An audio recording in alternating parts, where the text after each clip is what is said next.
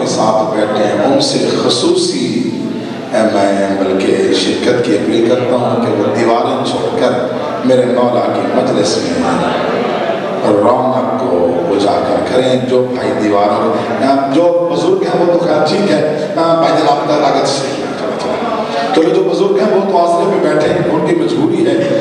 جو جوان ہیں تو ان کو تو چاہیے کہ وہ قریب قریب آ جائیں۔ بابا سے بلند سر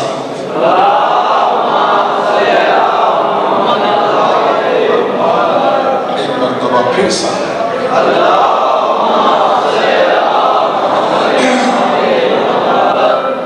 التماس بسم اللہ الرحمن الرحیم اللہم صلی علی محمد وعلی محمد رب جعلنی مقیم الصلاة ومن ذریتی ربنا وتقبل دعا ربنا اغفر لي ولوالدي وللمؤمنين يوم يقوم الحساب.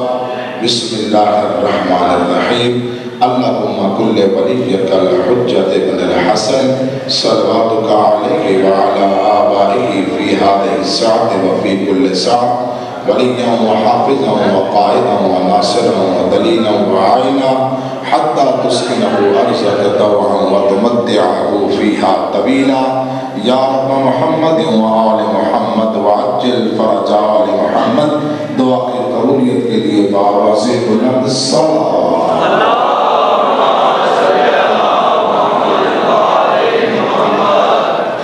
اجازت ہے بابا مجھے شروع کریں مولا کو خوش رکھے اعوذ باللہ من الشیطان الرجیم، بسم اللہ الرحمن الرحیم.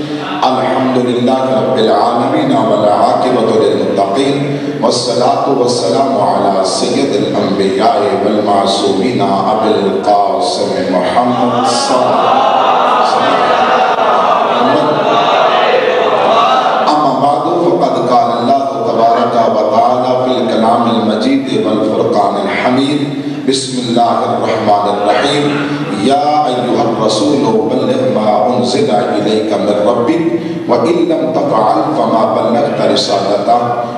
رِسَالَتَهُ وَاللَّهُ يَعْصِمُكَ مِنَ النَّاسِ إِنَّ اللَّهَ لَا يَهْدِي الْقَوْمَ الْكَافِرِينَ إِنَّ اللَّهَ وَمَلَائِكَتَهُ يُصَلُّونَ عَلَى النَّبِيِّ يَا أَيُّهَا الَّذِينَ آمَنُوا صَلُّوا عَلَيْهِ وَسَلِّمُوا تَسْلِيمًا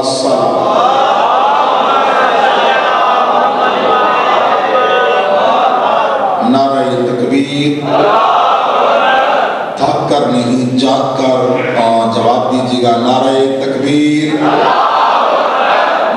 رسالت، نعرہ رسالت، نعرہ حیدری نعرہ حیدری، حسینیت حسینیت، یزیدیت یزیدیت، صلوات بر محمد و علیہ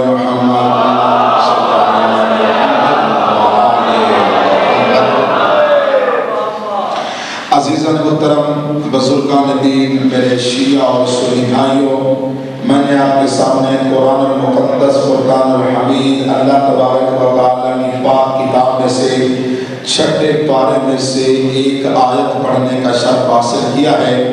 دعا کیجیے گا کہ اللہ تبارک و تعالیٰ صدقہ محمد و محمد کا مجھے صحیح بیان کرنے کی توفیق عطا فرمائے۔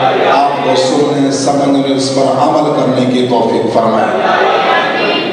عزیزان محترم، پڑھے لکھے شہر کے پڑھے لکھے بھائیوں سے میں گفتگو کر رہا ہوں اور جو مجھے موضوع دیا گیا دیا تھا ولایت حضرت علی علیہ السلام وہ آج اپنے چوتھے مرحلے میں داخل ہیں اور میں کوشش کروں گا کہ انشاءاللہ اس ولایت علی کو کل پانچویں مرحلے میں میں مکمل کروں۔ صلوات بڑے محمد والے محمد۔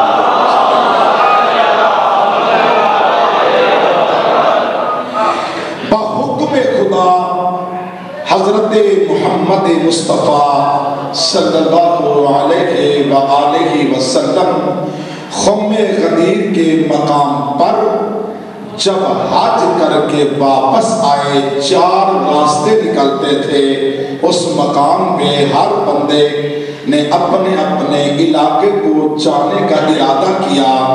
یا اوپر سے آواز آئی، یا رسول میرا رسول، بلغ ما انزل الیک من ربک، جو مجھ اللہ کی طرف سے تم پر نازل ہوا ہے، آج اس چیز کا اعلان کر۔ ترجمہ غور سے سنیں، پھر میں نے آگے آیاتیں پڑھنی ہیں۔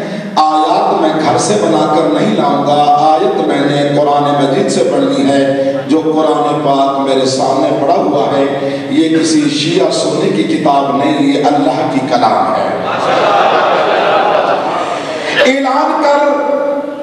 اب ہر بندے کو علم ہے، چاہے شیعہ ہے، چاہے سنی ہے، چاہے دیوبندی ہے، چاہے بریلوی ہے، چاہے حدیث ہے، کہ وہ اعلان کس چیز کا ہوا۔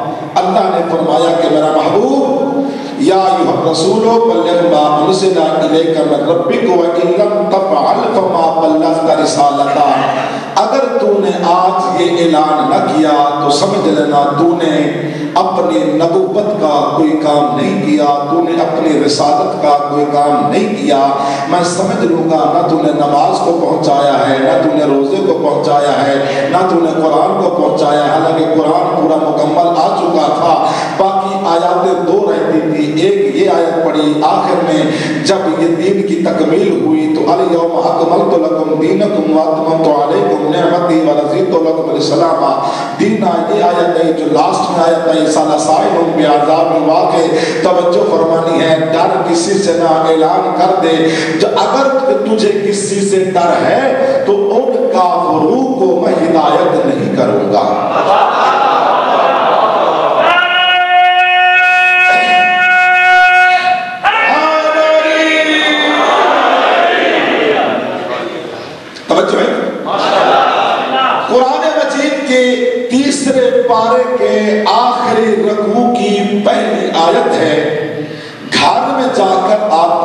آیت دیکھنی ہے، آیت نہ ہو، قتل واجب ہے۔ اس کا ترجمہ غلط کرو ممبر حسین پر کبھی نہ آؤں آیت بھی ہو، ترجمہ بھی ہو، آپ نہ مانے عبد الخالق کچھ نہیں کر سکتا۔ جب قرآن اس کا کچھ نہیں کر سکتا، تو میری کیا ضرورت ہے؟ میں اسے سمجھاؤں۔ قرآن اسے ہدایت نہ کرے، جب قرآن اسے ہدایت نہ کرے تو عبد الخالق اسے ہدایت نہیں کر سکتا۔ اتنا ضرور ہے کہ میں جب قیامت کے روز اللہ مجھ سے پوچھے گا، تو میں اتنا بتا دوں گا، میرے اللہ، میں نے تو تیری کلام کو سنا دیا تھا، انہوں نے نہیں مانا۔ یہ جانے اور آپ جانے، ان کی اعمال جانے اور تیری ترازو جانے۔ تیری ترازو جانے، ترازو کیا ہے؟ حضرت ابا بکر صدیق رضی اللہ تعالیٰ عنہ نے پوچھا، یا رسول اللہ، ساری زندگی آپ نے تبلیغ کی ہے کہ قیامت کے دن تمہارے اعمالوں کا وزن ترازو پر ہوگا، تمہارے اعمال اعمالوں کا وزن ترازو پر ہوگا، توجہ چاہتا ہوں۔ جملہ پہاڑ کے برابر دے رہا ہوں، سمجھ میں آ گیا تو علی علی ہوگا۔ بھی میں جلدی پڑھنے کا آتی ہوں کیونکہ میں کافی عرصہ تراویہ پڑھاتا رہا ہوں۔ زبان کچھ میری چلتی ہے، علی آہستہ میں بول نہیں سکتا۔ آپ بیدار بیٹھے ہیں، مجھے یقین ہے میرے جملے کو ضائع نہیں کریں گے۔ تو اس نے پوچھا یا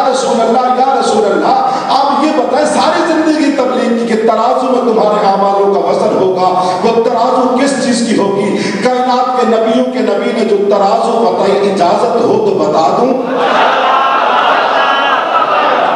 میں نہیں بتا رہا ترازو میں نہیں بتا رہا۔